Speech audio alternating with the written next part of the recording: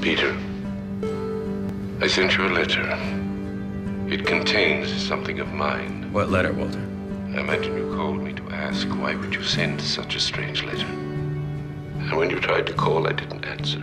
So you came to find me at the lab. But I was not to be found.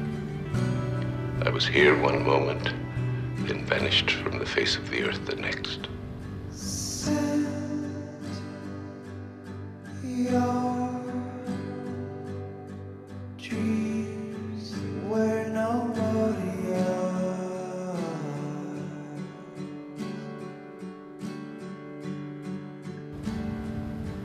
I want you to know I'm fine. And living many, many years from now.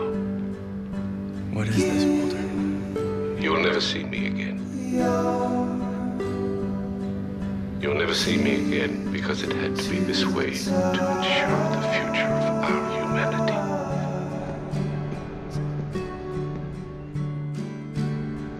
Hello, Walter. I thought you'd be fatter. Your future. The future of Olivia. The future of Etta. I don't want you to be sad. The time we had together, we stole. I cheated fate to be with you. And we shouldn't have had that time together, but I wouldn't change it for the world. Peter, before I met him, I didn't think it was possible to love you more. But now, knowing what we've been through, everything we've had,